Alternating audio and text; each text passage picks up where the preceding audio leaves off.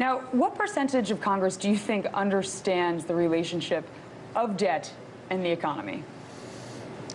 If I got all of them off the record, I imagine I could find one or two.